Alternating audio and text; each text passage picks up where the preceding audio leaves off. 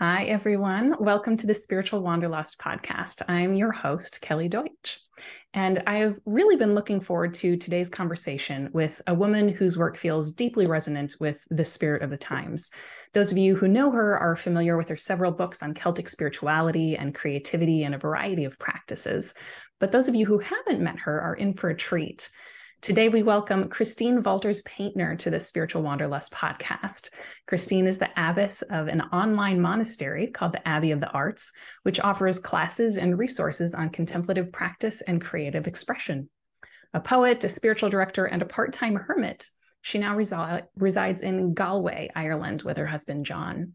Her several books include Earth, Our Original Monastery, The Artist Rule, The Soul's Slow Ripening, the Wisdom of the Body, and her latest, The Birthing of the Holy. Welcome, Christine. We're so happy to have you. Thank you, Kelly. It's delightful to be with you. Wonderful. Well, to start us off, you are an abbess of an online monastery, which is a rather unusual title. Can you tell us how this came about and what that means? Yeah, I sometimes joke that that wasn't like one of my college, you know, career choices to sign up for. Um, yeah, it happened. Uh, I was in graduate school, uh, gosh, almost 20 years ago, I guess, and studying uh, studying monasticism was part of it. I actually fell in love with monasticism through my graduate studies. The graduate studies mm. does have some some uh, doorways into pleasure and, and joy, and fell in love with hmm. Benedict and the Benedictine rule and Hildegard of Bingen and all of those, you know, wonderful um, practices and people. And I uh, became drawn towards becoming a Benedictine oblate, mm. which, uh, so I was doing graduate work in the Bay Area, in San Francisco, in Berkeley. And then we moved up to Seattle, my husband and I. And I became an oblate of St. Placid Priory, which is about an hour from Seattle and uh, is a Benedictine monastery of a community of women. And Sister Lucy there became a wonderful kind of friend and mentor and great support of my work and promptly got me leading retreats there and all of that. Hmm. And yeah, it just kind of evolved from there. It took, you know, I mean, those were sort of like the early days of online teaching. I taught a course for a seminary that was part of the doorway into uh, for the Episcopal Seminary at the Graduate Theological Union on Benedictine mm-hmm. spirituality, and I wasn't honestly wasn't convinced that teaching online would be as satisfying as teaching in person, and I ended up loving it. So that was kind of the impetus, I guess.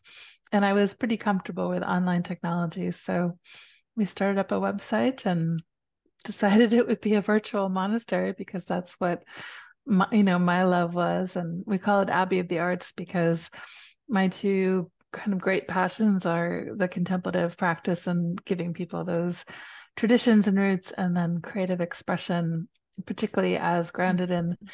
the the kind of practice of what's called expressive arts which is kind of a more therapeutic approach and really looks at kind of nurturing creative process over product Mm, and so mm-hmm. those things kind of all came together in the spiritual monastery. And to my delight and joy, there were all kinds of other artists and monks out there in the world who had this very specific passion for these things, how these things come together. And yeah, I'm just delighted. And so we've been doing this for 15 years. I say we because my husband uh, once we moved to Ireland, started to work with me. When we were living in Seattle, he was teaching high school the- theology, and um, he was kind of ready for a break from that. So now we now we partner together in the work. So that's awesome. I, I love when I first encountered your Facebook group, the Holy Disorder of Dancing Monks. I immediately was like, mm-hmm. okay, I need to, I need to be a part of this because this sounds so perfect. Like the, I feel like that's um, a, a theme both in your work and in in Celtic spirituality is almost a, like a wink, you know, that happens through a lot of writings and just the um, I don't know the way of viewing the world, like that there's a playfulness to it. Yeah, where do you yeah. think that comes from? Uh, I think well, I just I have a love of you know working with the imagination, working with intuition. Kind of working with what I would call like the, you know, the sacred feminine.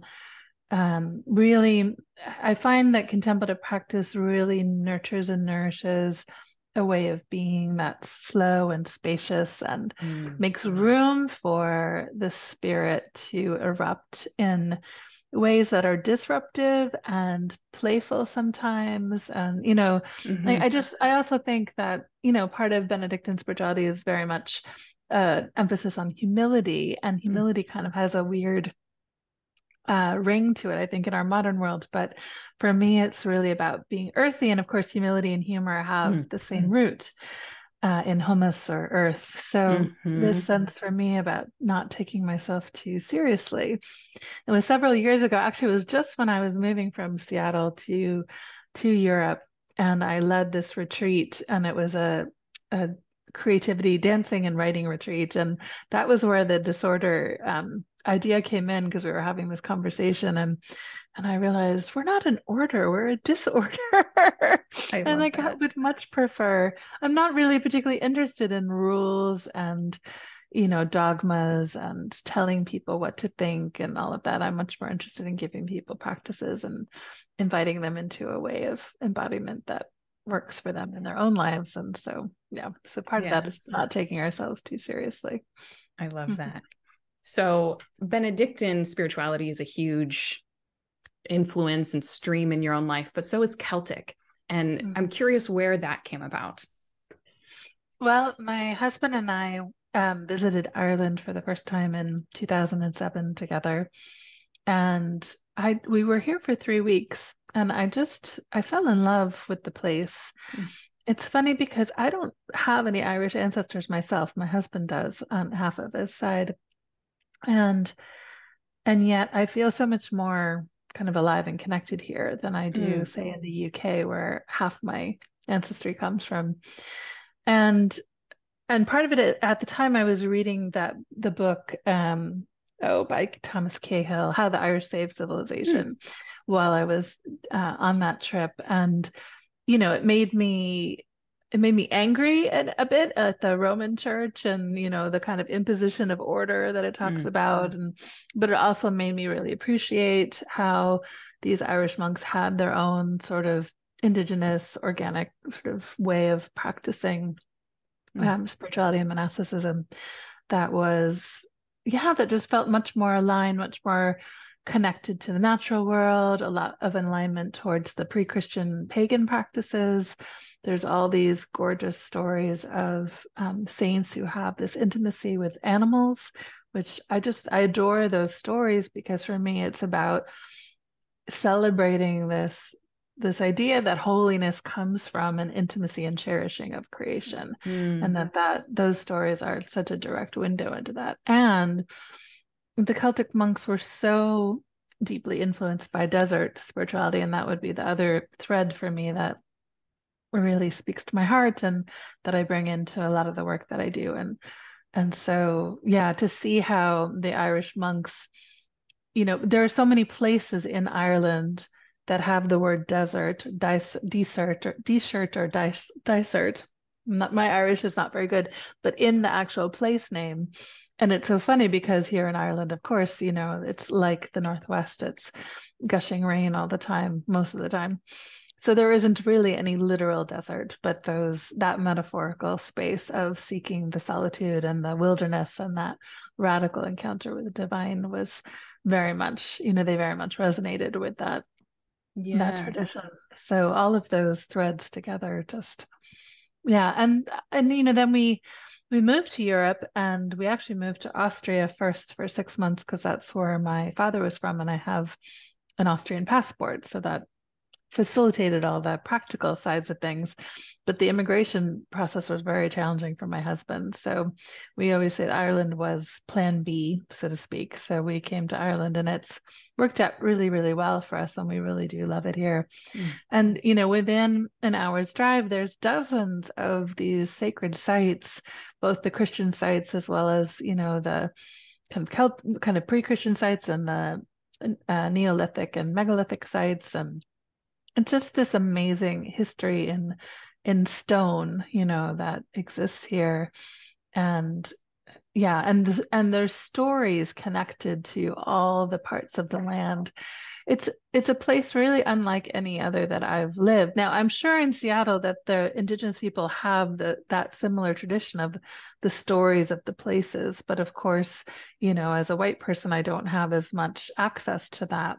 And here, it's it feels much more like alive and mm. for me and integrated into the culture and yeah there's even all the place names if you look back to what the irish name because a lot of the place names are anglicized um, but if you look at the irish names um, you know you can sort of see get a, like a glimpse of the story of the place um, and there's a big movement here to reclaim the irish language which is really exciting to to witness as well yes so. yes i love to see the resurgence of of interest in the celtic and the contemplative and the mystical like that is really having a moment and i i love that because i feel like it's i mean at least in the christian tradition is one of the best kept secrets you know that that this tradition mm-hmm. even exists so i'm very excited that that people are discovering it and finding something that is um, very heart centered embodied earthy you know it's delightful yeah yeah i feel like it offers such a good alternative to our kind of dominant way of thinking, which is very linear and planning minded and doing. And the Irish, the Irish way of being is not linear at all. and and I love that. I find it frustrating at times for sure. Um, but as someone who does tend to have a fairly orderly way of thinking about things, but I love that it disrupts that for me and um, you know, there's a playfulness here and a, you know, all of that kind of mischievous sort of side to the Irish too. Yeah. That I, I really enjoy all that. You know. Yes, mm-hmm. it is really helpful to have a culture around you that is disrupting the more Western linear, you know, planning success minded i mean I, I yeah. found that too when i was living in italy you know they were like if you get mm-hmm. one thing done during the day feel good about it, you know, because normally we'd be like, okay, got to go to the post office, got to go grocery shopping, yeah. I got to run it, you know, and they're like, no, that's just not how it works here.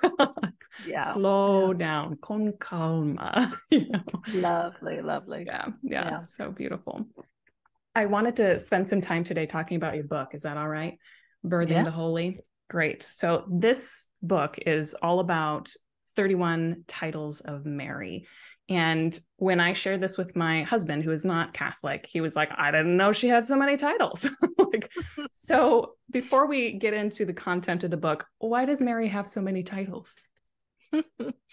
That's a great question. And and I could have written, you know, about, you know, 60 or 100 names of Mary. I had to choose, you know, and it was basically the ones that most resonated with me and you know kind of i mean jesus also you know goes by many names and certainly god goes by many names and so i think that there's something about our hunger for connection to the sacred in all of its different facets mm. that then you know we resonate with mary you know as um, you know, as the queen, as the virgin, as the star of the sea, you know, as the mirror of justice. And it's it's this be- i think it's this beautiful sense of well for me it comes from kind of the jungian work around archetypes and how we embody within us all these different facets of our being. We are each a multitude.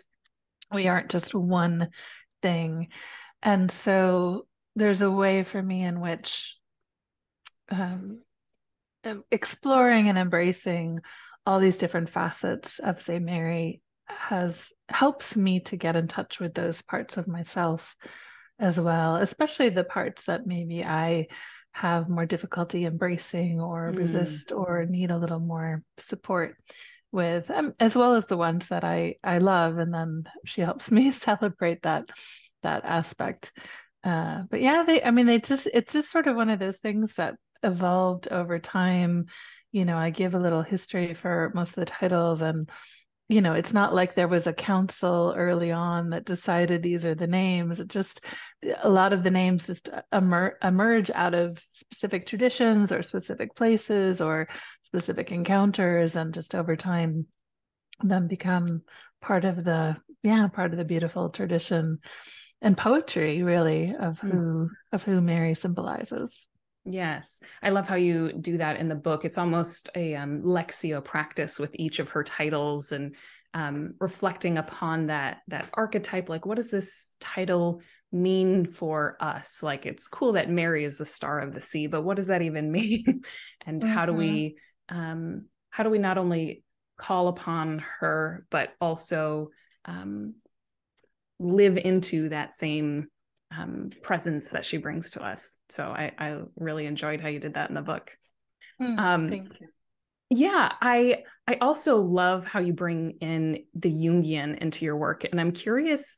I mean, there are people who are listening who also are just love the Jungian and archetypes and all of that, but there are also listeners who are not that familiar with the Jungian and might not be sure, like, how does that intersect with, you know, your your spirituality? What does that mean? Yeah, well, um, yeah, it's it's such a rich place for, you know, deepening self-knowing and deep and greater freedom for being present to others and the holy. And essentially Jung, I mean, there's lots of layers to his teaching, but you know, what kind of one of the foundational things was this idea of the the unconscious that each of us you know, if you think about like a little tip of an iceberg coming out of an ocean, that little tip of the iceberg is what we're actually conscious of, and everything beneath the surface is what we're unconscious of. And you know, why should we why should we care about that? And but the, the idea is that we have um again this kind of wealth of different aspects to ourselves, different dreams, different desires, uh, Jung does a lot of teaching around the shadow, which I think is extraordinarily helpful for anybody to work on to do some shadow work, but I think especially people who are quote unquote spiritual. Um, you know, there's a whole I, I, find very kind of invigorating this whole teaching that's come out in the last few years around what spiritual bypassing is when we when we um, you know use religion and spiritual practices and truths to only uplift what is light and good and you know all of those kinds of value judgments that we make and for me um, you know and, and part of this connects back to benedictine spirituality this idea of radical hospitality where benedict mm. says to welcome the stranger at the door as the very face of christ and i think that's such an extraordinarily beautiful image because it's like not not the thing that you love the most or the thing that you most resonate with. It's the, the stranger the thing that feels most disruptive or most foreign or most disorienting and those qualities are all often part of our own shadow selves. Mm-hmm. So they're all the things in us that we have suppressed a lot for very good reason, maybe for survival skills when we were children. Maybe we were told not to be a certain way and we might have gotten punished if we did, you know, act that way. But then as we get older and particularly um, midlife, you know, these things start to, we start to you know maybe they start to disrupt our lives a little bit and that's i think kind of where that whole idea of like a midlife crisis comes from is that all of a sudden we're in touch with maybe some of these desires in our life that we have suppressed for a long time and mm. i think the the first you know half of our lives we spend a lot of our time about cultivating our perso- persona and our achievements and so forth and so we become quite identified with mm-hmm. certain faces that we show to the world and then when these other parts of ourselves start bubbling up, it can be really threatening or disorienting to think, oh, mm-hmm. you know, mm-hmm. I I didn't, you know, I what what happens if I follow this particular thread? You know, what will it upend in my life? Will I have to change my career or my relationship or whatever? Yeah. Usually, usually there is a demand from it. And Jung also said there's the golden shadow, which are also the qual. So these qualities are not necessarily negative, quote unquote. They're, but they're anything that are suppressed, and the golden shadow are particularly the those qualities, those really kind of radiant qualities in us that we then project onto other people. And so, you know, if we idolize somebody, or, eh, you know, lift them up, beyond their kind of status or whatever that we are probably projecting and that's so the, a couple of the key ways that Jung would say that we get in touch with the shadow material. One is dream work, and the, the shadow is often, you know, comes forth in dreams. And then Oh, he talks a lot about projection, which is essentially, I talk about it where, you know, sometimes, you know, there's a lot of people in the world who are annoying and, you know, just generally annoying, but there's some annoying people who really get under our skin and like they're really just like we can't like let go of a conversation or whatever it is. And it's those those things that hook us that are a good clue it doesn't mean that they're not genuinely annoying or unethical sure. or whatever lack integrity but it also has a potential to reveal to us something that we might be struggling with. So all of those things I think are really rich food for the spiritual life because we're not about contemplative practice isn't about meditating into a space of inner bliss and transcending life. It's about really being present. You know, the desert mothers and fathers would have been very much about wrestling with, you know, what they called the inner demons and sort of basically the vices of of tradition and and um, you know how to work with those things so that we can then become more free ultimately to grow in love of ourselves our neighbor and and the divine so ultimately it's all all in in service of love yes yes i i love how so many of the mystics of people also the jungians um, tie that together so nicely of of the interior life being one with the exterior it's kind of like you know the the systole and diastole of your heart you know it's like mm. it goes out and in and in and out and it has to be that rhythm otherwise i mean if you don't have that rhythm that we call that dead you know mm-hmm. and so i i love the the grappling the wrestling and both shadow work and i love my favorite way to do shadow work is through ifs internal family systems and i just that idea of hospitality of welcoming those parts of you and like you said it could be the more the more positive the golden shadow or it can be mm-hmm. things that are more difficult you know like our anger but it could also be our playfulness you know that we've repressed right. and don't allow ourselves to just let loose a little bit and it is a lot of work that I think saints and mystics in the past would have just called virtue, you know, and we're like, yeah. this is just another way of doing that. Yeah, yeah, exactly. I work a lot with, you know, people in ministry and a lot of pastors and spiritual directors. And I find, you know, that when you're in that kind of work, you know, there is like a certain persona that's very tied into that. And so it's, it can be challenging both to be the one who's the, like, asks for help or the recipient of help because often they're the caretakers mm. or or that you know can show a, either a playful side or a rebellious side or a side that doesn't feel as congruent to the our image of what you know a mm. minister mm. should be i mean and this is true i think for any any kind of identity that we hold but that's the one that i i tend to see a lot you know how do we how do we free ourselves up from from that hold that it might have on us. Yes, absolutely. I, I wanted to ask about a couple titles of Mary that you wrote about. Um, one that stuck out to me was that of Mary as warrior. And you use the image of the scapular, not as a defense against evil, like some um, Catholics in the more traditional strains might have um, perceived it as, but more like a defense against your boundaries being encroached. And I don't think many of us have heard Mary spoken of in this way. So, in your mind, what does it mean to see the Sacred Mother as warrior? Mm-hmm. Yeah, I I love um, I love that warrior archetype in part because it's probably one that I wrestle with a lot.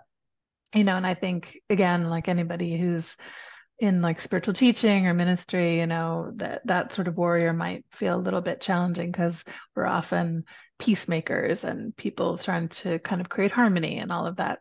Mm. And yet, and yet they're, you know, the warrior part of ourselves is the part that is willing to be fierce to defend something of value. Uh, and I certainly, you know, find Mary in that. And I love that image of Mary as protect protectress and her cloak, you know, that she gathers around people to help create these boundaries. And I think, I know for me, part of my own journey for a few years was was learning to create some of those more energetic boundaries because you know again as as someone in service you know there's an inclination to say yes a lot to people's invitations and you know to things that are asked of you and and i really had to learn how no was as sacred of a word as yes and that um, if i really wanted to cultivate uh, a really true contemplative life to the degree that i actually need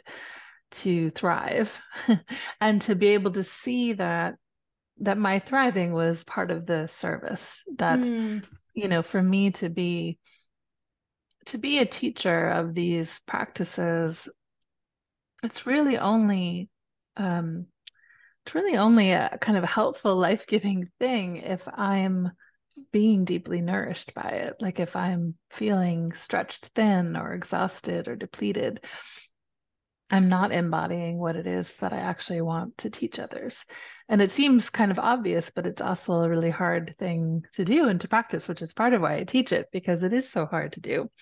Uh, and so for uh, for several years, I, I had a work. I mean, I still work on the cultivating of boundaries, but now I have more practices that are a part of that. And calling on Mary is definitely a piece of that, and all kind of the different spiritual beings for me that help embody that sort of sense of energetic protection. So it's both like against people who might wish me harm, mm. but it's also a protection of, you know, if I feel like there are a lot of demands being made on me, that sometimes, you know, it, particularly running, you know, my own monastery, my identity can be very tied up in the work. And so having finding a way to kind of create a little bit of a boundary between myself and the work has been helpful so that I'm not consumed by it because I love what I do, but and you know, I also need rest and I need to step back from it sometimes and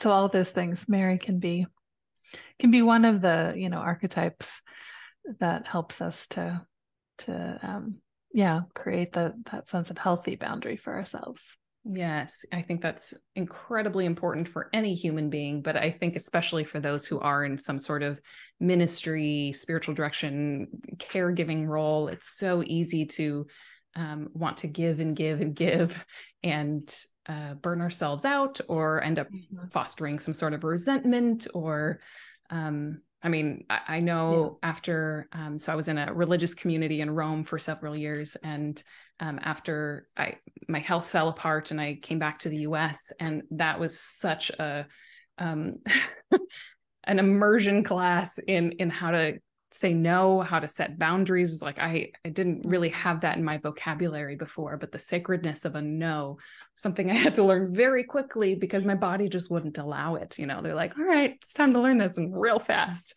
Um, and I find that's true for many people. Like it's something that life kind of forces them to learn if you didn't previously. Yeah, yeah, that can definitely be one of the invitations of illness for sure. yeah. I've experienced a lot of that in my my life as well. Yeah, yeah. Um okay, I have like four questions floating in my head. Um let's I'm curious you you mention and share as much or as little as you want, but um, you mentioned that the passing of your mother was something that partially inspired this book. And I'm curious if you would be open to sharing a little bit about that story, how losing your own mother led you to write a book about Mary.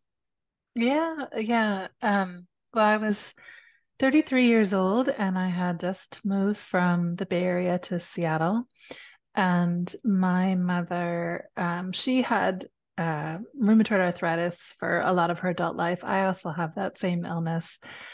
Uh, but at the time, the medications weren't so great and they really wore her body down. And mm-hmm. she had been in the hospital with a bone infection for about 12 weeks in the summer. And then all of a sudden, mm-hmm. and she went home for a little while. And then all of a sudden in October, her system got overwhelmed and she went into the ICU. And they I was called and I flew she was living in Sacramento at the time and I flew down there to be with her and it was and I'm an only child so uh, it was up to me to have to make the decision to take her off life support and mm. it was it was ex- excruciating in a lot of ways and uh, I was very close to my mom and it was really kind of my father had died a few years before but that was mm. actually kind of a relief in my life and so it was yeah it was a very painful grieving process and uh, there were a lot of layers to it and part of it was you know my mother was kind of coming into her own i mean she was 60 years old but she was mm. finally coming in i think into like that crone stage of her life and the fierceness she um, used a wheelchair and she would uh, lobby for disability rights and you know she just really come into her own power and i so mm. grieved not having the chance to witness her grow into that and hmm. have a model for that plus just the the heartache of you know i grieved for a good couple of years pretty pretty hard and and someone in along that grieving process said you know part of this journey for you will be rediscovering what mother means for you now mm. and and yeah and mary up until then I had been, you know, I I liked Mary. I didn't have any objections to Mary, but you know, she's often so depicted as this very docile, you know, white woman in a blue dress, and she looks always very peaceful and serene. And and you know, I started to discover that there were more faces to Mary, and and it became pretty, um, yeah, empowering and comforting. And you know, Mary Mary, who held the body of her, you know, grown son in her arms, who, you know, had been murdered, and, you know, just to feel that kinship to her mm. as a presence, as an embodiment of that sacred feminine um, that we don't have as explicitly in the Christian tradition. I mean, it's there everywhere. It's just lifting it up. And then, yeah, several when I moved to Europe when I moved to Austria first, I started to have an encounter with the Black Madonna in particular, mm-hmm. and there's a Black Madonna near Vienna, and there was a whole series of synchronicities and dreams and things that brought me to her, and it became this yeah amazing journey. And then a few years later, I went to Chartres to do a teacher retreat for the Veriditas people, and then Ave Maria Press said, "Would you like to write a book about Mary?" And I was like, "Yeah, sign me up! I'm oh, ready." Yeah, that's beautiful. I um, I was talking with a friend of mine who is um, grew up Pentecostal mm-hmm. evangelical, mm-hmm. and he's really, you know, he's left that tradition, but you know, is feels like he's haunted by Mary. I'm like, oh, like I love how that that um, whether it's specifically, you know, Mary, the mother of Jesus, or this um, kind of image of this sacred mother is is really having also a resurgence now that so many people are um, craving this this feminine presence. Um, and so like you said being able to lift it up like it's it's there. It's just needing to um, make space mm-hmm. for yeah, for that for the feminine. and Mary, you know, who's the one who fights for justice, and you know, the whole Magnificat about you know, lifting up the poor and it's it's really beautiful and powerful. And so yeah, it's very exciting to see so yes. many people welcoming that. Yes, I saw I um image and I wish I could remember the artist. There's an image um that someone created of Mary and it has like the Magnificat written around her and she's like crushing the snake, you know, like Mary the warrior. It was it was such a lovely image, you know, a kind of counter image to that docile, like mm-hmm. praying white Mary. Um, yeah. So I love being able to to welcome those aspects of her and of us as well. Um, what would you say? Which title of Mary speaks to you most in this present chapter of life? Mm. That's a great question. I I think um, Our Lady of the Underworld mm. uh, has been mm. calling to me a lot. She's the mm. one of the Black Madonnas at Chartres Cathedral. She she lives down in the crypt there, Notre Dame sous terre. And uh, I have a love of part of what, what I love teaching about too is um, kind of the dark night journey and the mm. underworld journey and the midwinter journey. And and certainly when my mother died that was a big part of my own learning and process and integration. And i'd say in the last couple of years i've entered into menopause and it's it's also an underworld journey but in a different way there's there's grieving but it's not quite like the acute loss of my mother but it's there's like all this disruption happening in me and and I've also learned a lot about how to be present in those mm. moments of uncertainty. So there's I feel like there's a lot of securities mm. being stripped away and I've been having a lot of health issues and so I think it's it's like this entering into the underworld again, but this time you know the the story of Persephone. Uh, I I love that story in part because she's abducted into the underworld, and how often we feel, you know, when we we feel victim to life circumstances. Mm-hmm. But in that story, she's um, you know she eats the pomegranate seeds, and in some of the versions of the story, it says she's tricked into it. But I prefer the stories that say that she actually ate them intentionally because what it means for me is that she and and by eating them she has to stay in the underworld half the year which is how we have the seasons.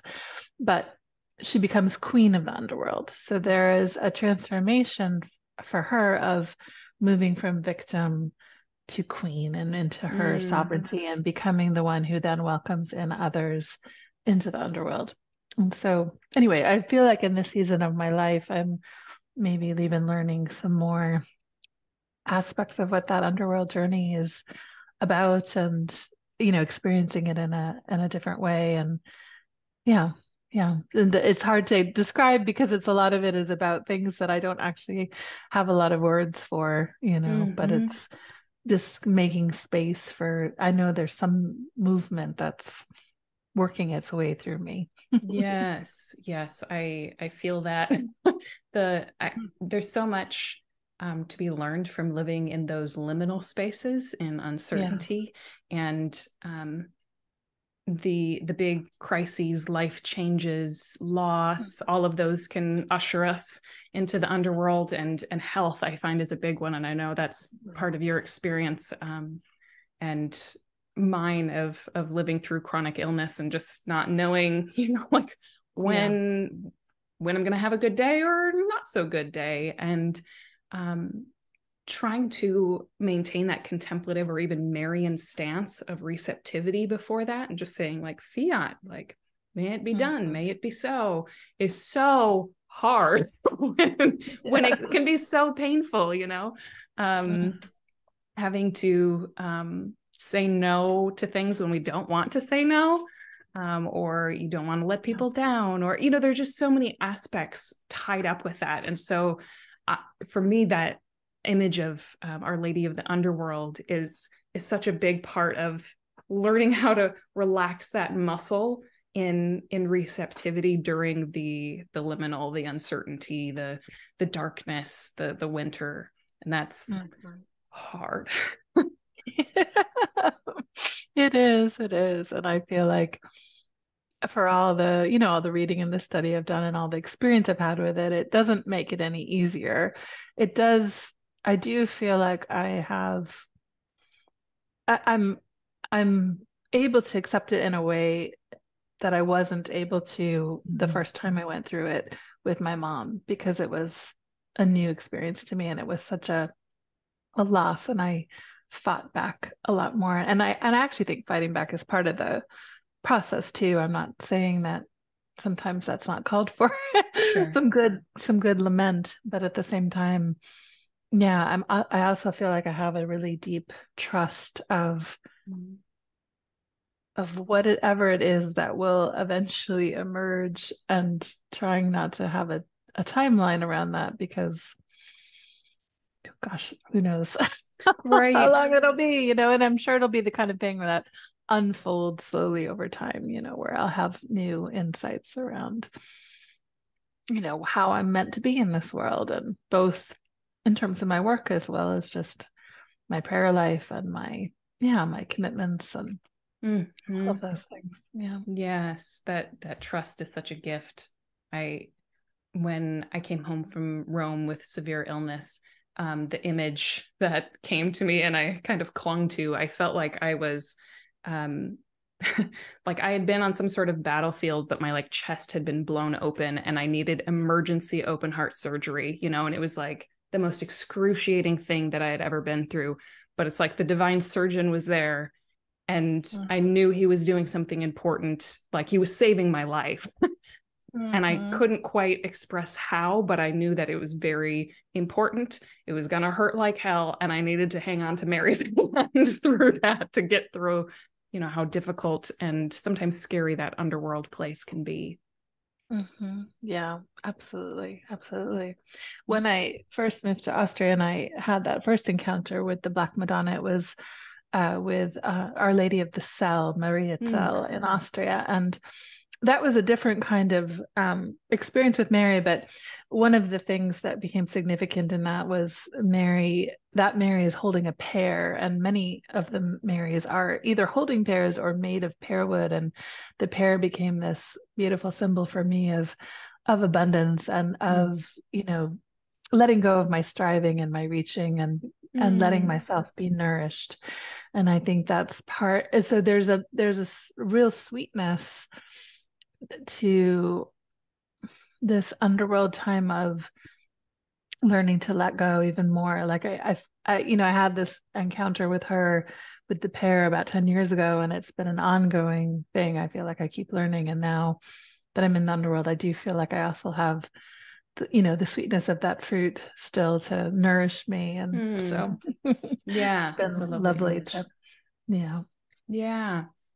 One more question for you before we wrap up today um, another title that you talk about um, of Mary is that of the greenest branch, which is a title that that Hildegard loved, and it it really intertwined with her ideas of the greening power of God, that vitality or viriditas.